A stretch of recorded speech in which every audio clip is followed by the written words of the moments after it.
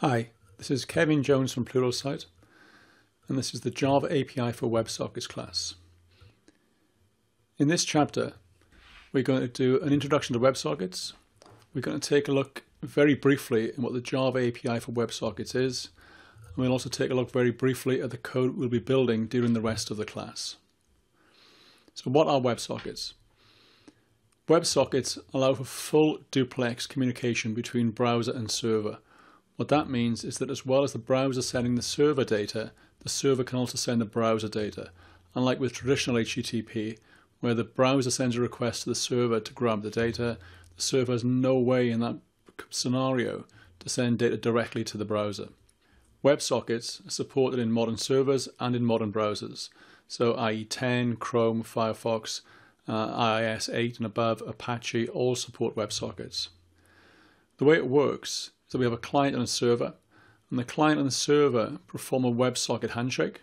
Once the handshake has been performed and both sides are happy that, they can communicate over WebSockets, we can then send data two ways. So the client can send data to the server and the server can send data to the client.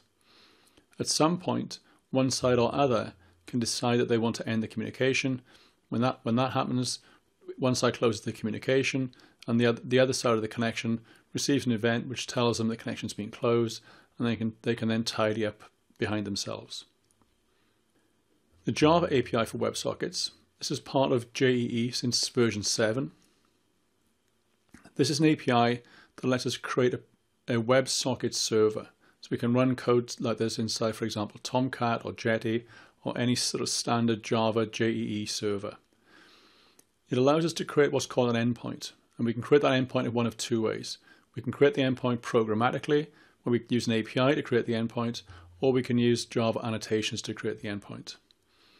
The API allows us to send both text and binary data.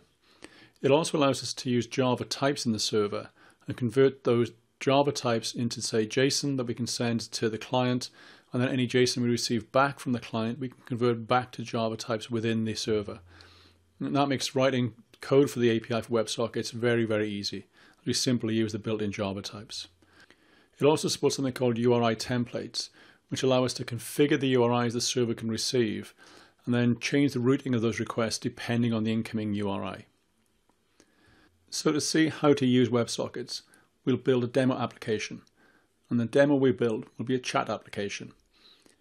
Whenever you see WebSockets demos, you tend to see chat applications as the demonstration. The reason for that is that chat applications allow us to show fairly simply all the features of WebSockets. And rather than break with tradition, that's what we'll do here.